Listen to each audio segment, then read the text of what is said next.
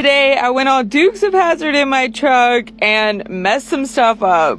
Let me tell you about it. So right here I'm tightening my turnbuckles and I'm looking at the damage because I bent this little back um you know, it connects the turnbuckle to my truck. I don't know what you call this.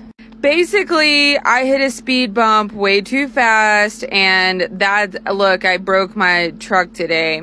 The camper went like flying and the turnbuckles fell off and like my camper scooted sideways. I had to buy a new turnbuckle because I messed mine up. And then basically I spent today retightening my camper down in its new position after it went flying through the air. Also, my antenna poked through the camper and like popped a hole in it. So I patched that up, but I was embarrassed.